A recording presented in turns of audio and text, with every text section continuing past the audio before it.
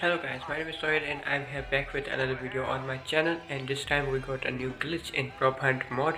So in prop hunt mode you can actually you can see where the enemies are. So it's it's very helpful and it's actually found by a channel called Oremi and his link will be in the description down below if you want to check out then click the uh, link and so in his video he tells us that you have to uh, just wait for one round to end and when 60 seconds remaining for the next round. To start you have to go to your home page the home um, of your mobile and then wait for 70 seconds and then click your app again. So that's how it's work.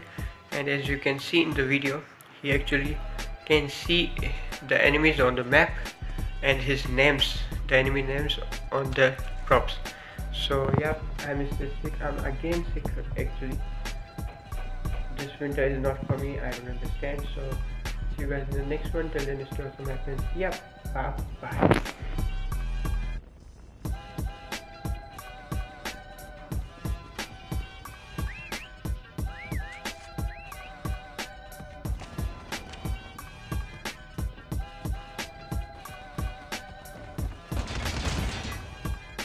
Reloading. Cover.